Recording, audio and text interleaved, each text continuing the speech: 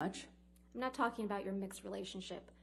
That night in Australia, after you cut off his finger with a bottle, you weren't scared of him at all, were you? This is a man who tried to kill me. Of course, it's scary.